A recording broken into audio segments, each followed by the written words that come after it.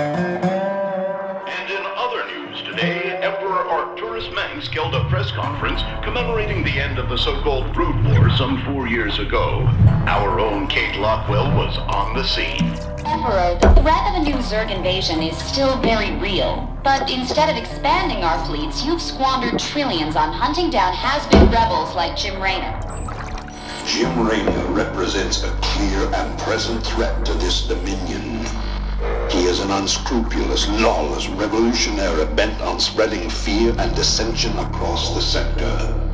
He and his ragtag band of miscreants have instigated open rebellion across six separate worlds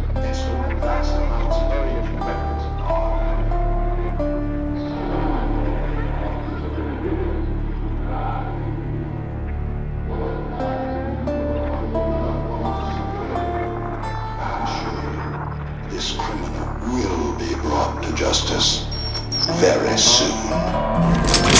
It ain't over till it's over, you son of a bitch.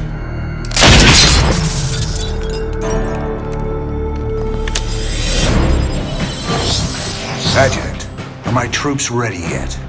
Your forces are prepared and awaiting your orders, Commander. Uploading tactical data now. Good. About time we kick this revolution into overdrive.